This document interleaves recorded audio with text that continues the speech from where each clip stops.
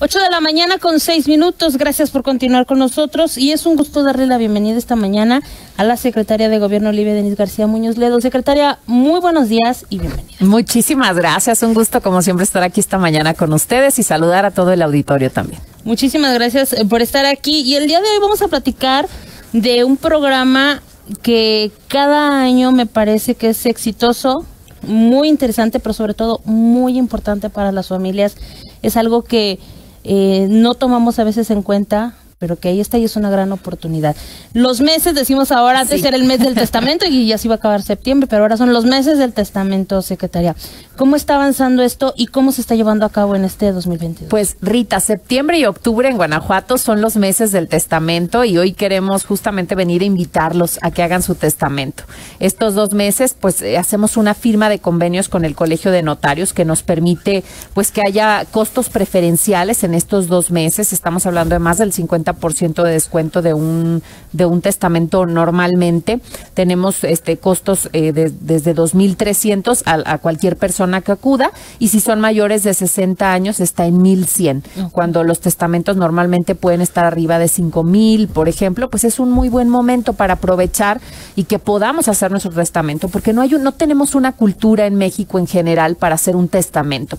Tú no sabes la cantidad de personas a las que invitamos y que nos dicen, ay, pero yo es que yo no me voy a morir o yo no me quiero, no quiero que me dejen en la calle mis hijos. No, bueno, a ver, eh, eh, explicarles un poco, el testamento no te resta años de vida, al contrario, te va a quitar problemas cuando tú ya no estés. Entonces, pues e, es certeza jurídica, no tenemos esta cultura y es hacer una campaña, la hacemos de manera permanente, pero particularmente en estos meses para decirle a la gente, es importante que aunque tengas poquito, porque luego dicen, es que yo casi no tengo nada, pero a veces por ese que es nada, se desintegran familias cuando no hay una voluntad establecida eh, de quien tiene los bienes. Entonces, pues invitarlos a que este año nos ayuden a hacer su testamento, se ayuden ellos mismos y que no hereden problemas a su familia y dejen todo claro para que además, pues, eh, del dolor de la pérdida no le sumemos también, pues, el pleito familiar por los bienes. Yo lo mencionaba, no tenemos esta cultura de prevención en qué puede suceder y qué es lo que voy a dejar, cómo lo voy a distribuir. Si tengo no bienes, como bien lo, lo menciona secretaria, pero cómo ha crecido, porque es una campaña que se lleva a cabo año con año y que, bueno, como ahora lo mencionábamos, pues son septiembre y octubre, pero cómo ha crecido eh, esta actividad y esta cultura de... Justamente comentarte, estamos tratando de rebasar la meta eh, del año pasado, eh, que, que, fueron más de 11 mil testamentos dados en el Estado. Queremos seguir rebasando esta meta, que podamos superarla. Eso para nosotros es muy importante. Y lo que estamos haciendo es no solo lanzar una campaña, sino tratar de explicar en estos sectores por qué es importante hacer un testamento y cómo es que se hace también un testamento. Hay que acudir a las notarías públicas, a cualquiera de las notarías públicas que hay en el estado. Si yo soy de León, no necesariamente tengo que estar en León. Si quiero hacerlo en otro municipio, en, en todo el estado podemos hacer el testamento.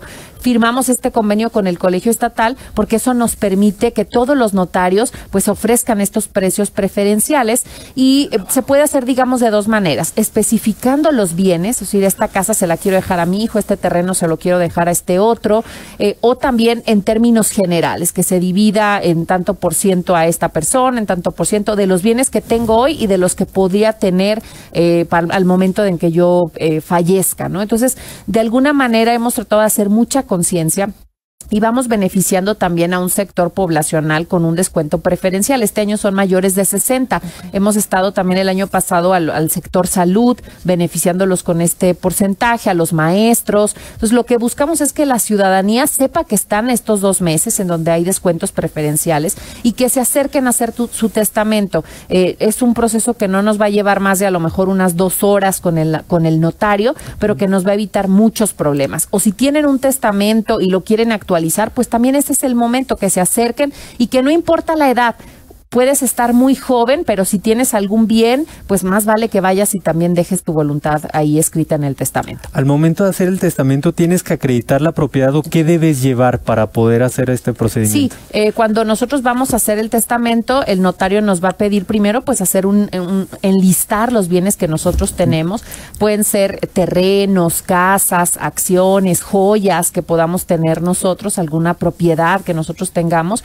Y sí hay que acreditar que nosotros somos los propietarios. De cualquier manera, el notario verifica esto en el registro público de la propiedad para darse cuenta que verdaderamente eh, pues está allá, ¿no? También eh, nos va guiando en el proceso, porque por ejemplo hay ocasiones en las que dice, oiga, este le quiero dejar esta casa a mi hija, pero solamente que no se case con el novio que tiene, ¿no? Esas cláusulas pues no se pueden poner, son ilegales. Entonces, el notario va orientando. Entonces, por eso es importante ir con, con estos, con nuestros notarios, notarias que son expertos y que nos van a decir, oiga, pues no, por más que Por usted más- no quiera al novio, no podemos poner esa cláusula. O esto que usted está estableciendo, pues no, no es de su propiedad, porque ya verificamos y no es suyo, está a nombre de su esposa, ¿no? Y aunque usted lo compró, pues está a nombre de su esposa y usted no lo puede heredar. Nos van a ir guiando en el proceso. Es un proceso pues relativamente sencillo que el notario este hace. Obvia- obviamente es un acto solemne también el, el- el testamento que se tiene que realizar, pero que con esta facilidad que hoy damos de que son costos preferenciales y que pueden hoy acercarse.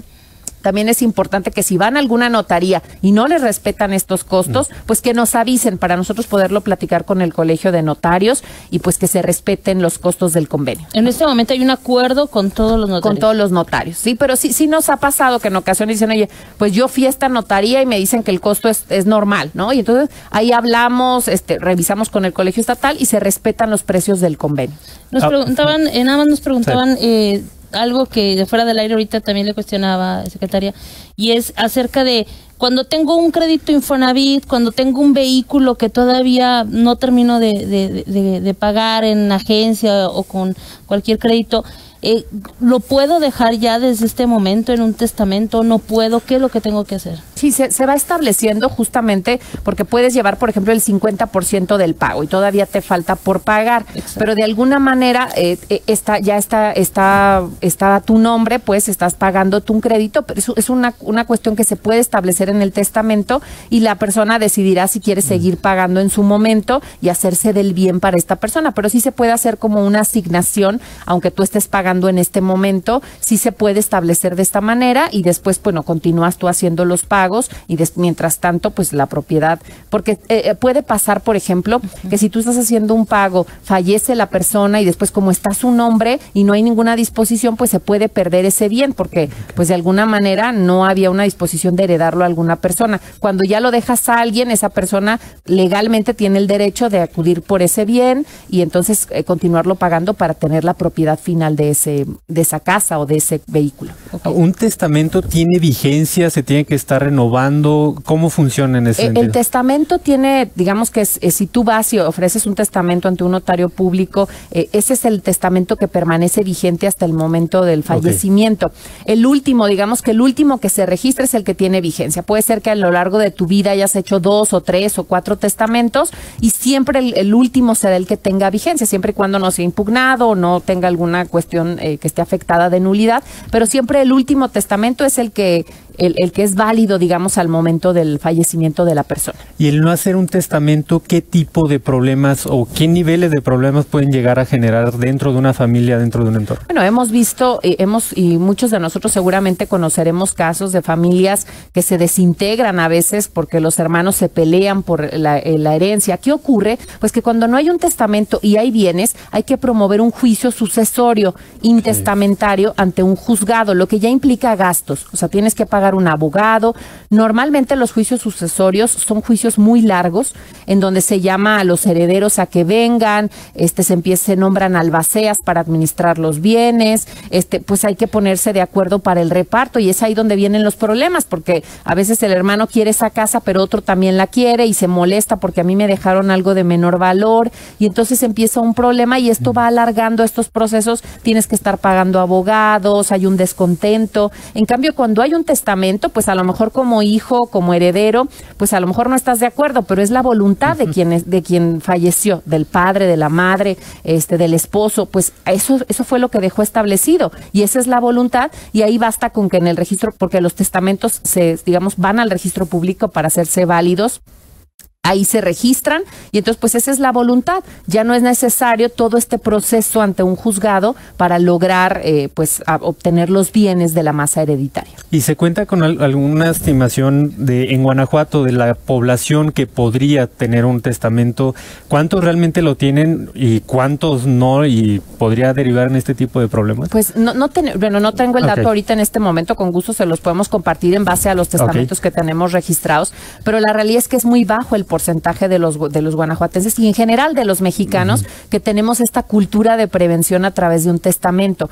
Pensamos que no nos vamos a morir, ¿no? Pensamos que todavía nos falta mucho, pensamos que hay por los dos o tres bienes que tengo, pues no vale la pena. Tenemos la creencia de que solo las personas con mucho dinero, con muchas propiedades, tienen que hacer un testamento. dices, yo tengo solo mi casita, pues ¿para qué hago un testamento, no? O a veces de palabra, estamos muy acostumbrados aquí en México a decir, eh, a mi hija le voy a dejar esto, a mi hijo le dejo esto, de palabra, pero eso no necesariamente tiene un valor jurídico. Y cuando hay un problema entre los hijos, pues eso, oye, es que mi papá a mí me dijo que me iba a dejar la casa. Pues sí, pues pero no está en no tiene validez. No hay, un, no, no hay validez, no tiene un documento que avale ese dicho, ¿no? Ok, perfecto. Vamos a hacer una pausa.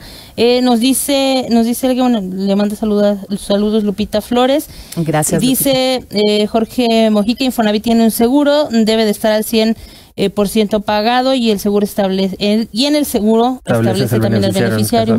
Entonces, bueno, ahí, están estos comentarios. Si usted tiene alguna duda sobre el tema que estamos conversando el día de hoy con la Secretaría de Gobierno, escríbanos a través de redes sociales, en nuestra transmisión en vivo en Facebook, ahí nos puede dejar su comentario, su duda también y con muchísimo gusto aquí se la hacemos saber. Vamos a hacer una pausa y nada más antes, eh, gracias, eh, nos dice, gracias al secretario de Seguridad, Mario Bravo, nos dice que eh, el reporte que había de una persona lesionada por arma blanca, ya eh, estuvieron en el lugar, ya llegaron y no hay absolutamente nada en este momento. Gracias eh, por aclararnos esta situación. Vamos a una pausa y regresamos enseguida. 8 de la mañana con 23 minutos. Seguimos en esta interesante charla con la secretaria de Gobierno de Libia, Denise García Muñoz Ledo. Eh, Daniel Villaseñor manda un saludo. Dice, buenos días, agradecele a la secretaria Livia Denise la orientación que, que nos brinda a todos. Un reconocimiento a la licenciada Livia por tan arduo labor. Es un orgullo tener una persona dice de una sola pieza al frente de la Secretaría de Gobierno. Un saludo ahí de Gracias, Daniel, un abrazo. Muchas y sobre este tema que estamos platicando de los, de los meses del testamento, me preguntan, ¿es cierto que es mejor la sucesión patrimonial porque es de efectos inmediatos al fallecer la persona, en lugar de que en el testamento alguien puede inconformarse? ¿Es verdad o qué?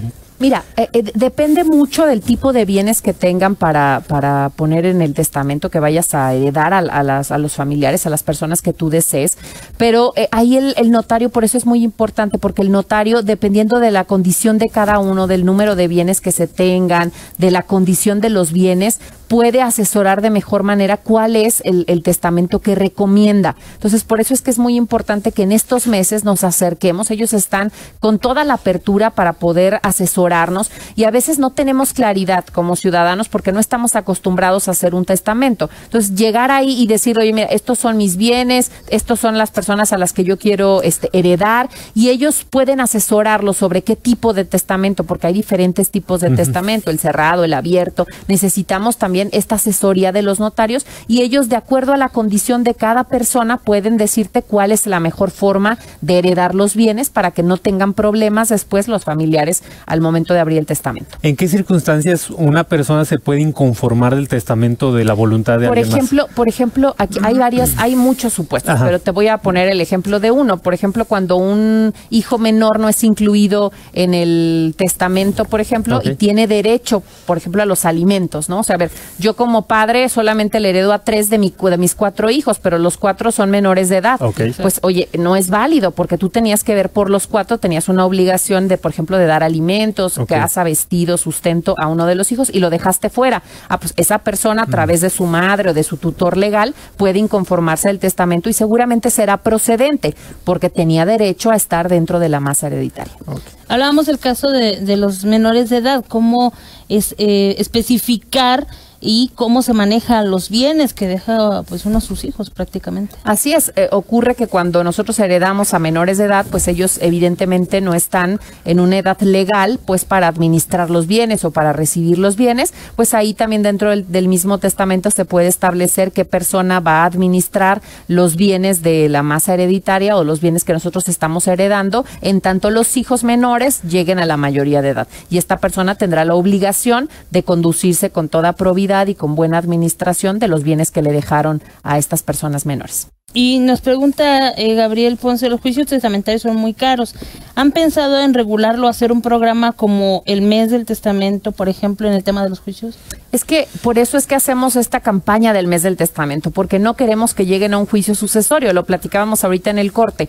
Sabemos que los juicios su- sucesorios son muy largos. ¿Por qué? Pues porque hay muchos, normalmente hay muchos eh, que están ahí buscando heredar o que son herederos legítimos para la, para la persona que falleció y lo que buscan es acceder a, los bienes. Pero pues para que se pongan de acuerdo luego es complejo. Hay veces que hay, hay, por ejemplo, dos o tres casas y no me pongo de acuerdo con mis hermanos cuál de las casas nos queremos quedar y entonces se hace una venta, se tiene que hacer una subasta pública de los bienes para que se reparta por partes iguales y entonces estos pueden llevar muchísimos años los juicios sucesorios y puedes impugnar a la albacea que se nombró porque no estás de acuerdo y entonces son juicios muy largos y evidentemente costosos porque pues tienes que tener un abogado. La mejor prevención para no llegar a un juicio sucesorio es hacer un testamento. Nos dice una persona a través de Facebook, y si no hay testamento, pero todos están de acuerdo mutuo, ¿no habría problema o si es obligatorio? de todas formas tienen que promover un juicio sucesorio intestamentario, porque no, no hay un testamento, hay que ir, porque los bienes no pueden cambiar de propietario cuando la persona fallece de manera inmediata. Hay que ir a un juicio sucesorio. Si se ponen de acuerdo, seguramente va a ser un juicio mucho más ágil, más rápido, pero de todas formas tienen que ir a un juicio sucesorio. Ok. Y nada más, bueno, cambiando ya de tema, aprovechar para preguntarle en el desarrollo de la aplicación de, eh, de- por parte del gobierno del Estado para el servicio de, ¿cómo se llama? Ya no es taxi Privado. ejecutivo, privado de, de transporte. ¿Cómo va? ¿Qué avances tienen? Bueno, estamos ahora, hemos estado en diálogo permanente con el, con los taxistas, con el gremio de taxistas y con este ahora servicio privado. Estamos preparando el registro que vamos a comenzar del servicio privado y también después de la licitación estuvimos trabajando técnicamente en la integración de esta aplicación que esperamos ya esté eh, funcionando en su prueba piloto para noviembre. Eh, lo que estamos buscando pues es eh, subir a sistema, revisar que todo esté corriendo como tiene que dar, en la, incluso en las tiendas de aplicaciones para poder bajar la aplicación. Pues la verdad vamos muy bien. Creemos que va a ser una aplicación que va a venir a, pues a ayudar mucho en el mercado. Rei- reiterarles que no es una aplicación que sea recaudatoria con motivos recaudatorios.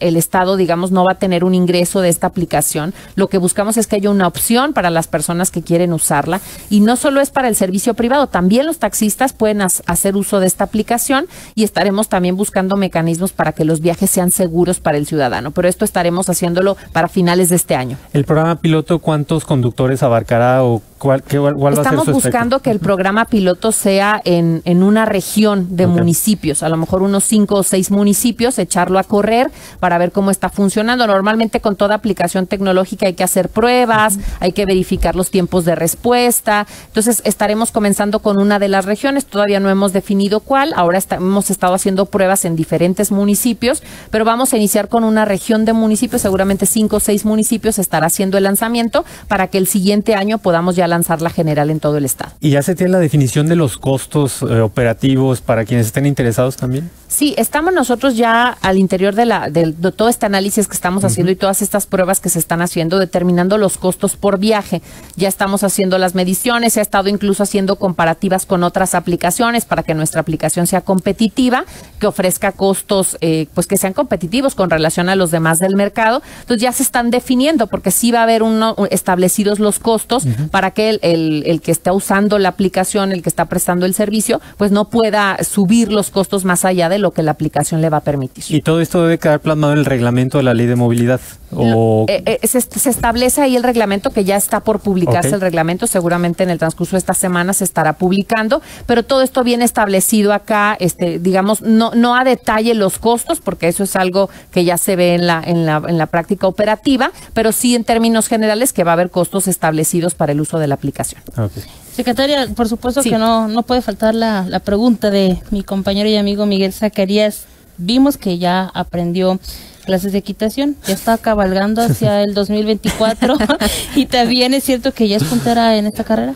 No, Rita, bueno, yo estoy, como lo he dicho, concentrada en mi trabajo. Este, por supuesto que hemos estado trabajando muy fuerte.